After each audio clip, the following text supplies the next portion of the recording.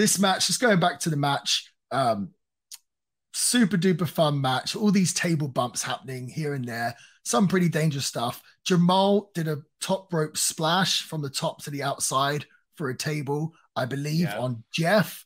On Just Jeff. looks like he absolutely crushed him. Crushed him, yeah. it was it was crazy.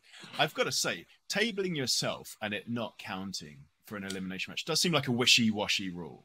They seem to change the rules on this every now and then. I feel like I've seen tables matches where going through yourself does count, and then yes. later they would decide, oh no, it doesn't count.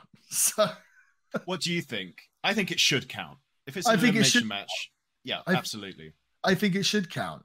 This is that's I, I feel like the first ever tables match was from your favorite pay per view ever, Royal Rumble 2000, I believe, was it? Jeff uh, uh, Hardys and Dudleys. Hardys and Dudleys.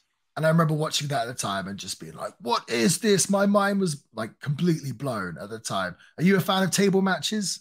100%. Yeah. I feel I, like. Um, I, can, I, it's I don't know why it's I don't know if it's the sound of it breaking or something, but there's something so addictive to it, and it never gets boring. I feel like it is kind of boring now. The table I don't. Bumps. Well, I mean, ask me in what 50 episodes time, but I still like it. I really do. It's my favorite. I'm not gonna say it's my favorite kind of like gimmick or or ma- no, I, I am gonna say that. I do. I just like pure tables match, better than TLC or or a ladder match or something. I don't know. Really? I just yeah, it's very. um If you if you get tabled, you're eliminated. It's just a very kind of clean rule, mm. uh, which is why I'm so annoyed about the whole tabling yourself well, doesn't count. Whereas the ladder match, it's sometimes you have to get a you have to get an item and there's just like other things, but I feel like a tables match just being, hey, if you go through that thing, it's game over.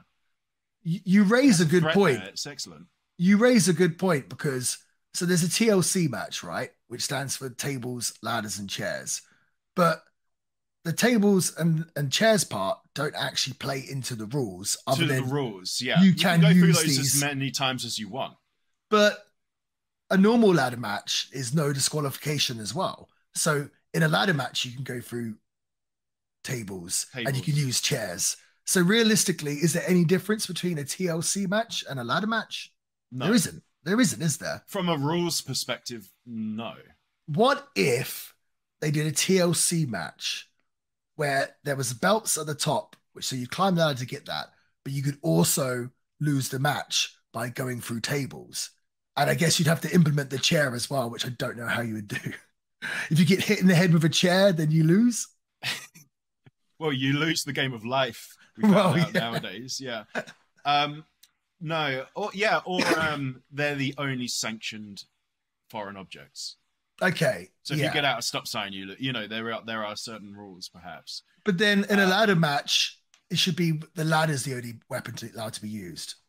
But it's not. Yeah. So it's it's it, it's it's interesting. Yeah. It is. Um, or you can only eliminate someone by putting them on a table and then jumping off the ladder. But then that would just favor certain types of performers. So, yeah, we're gonna have to come up with the ultimate rule.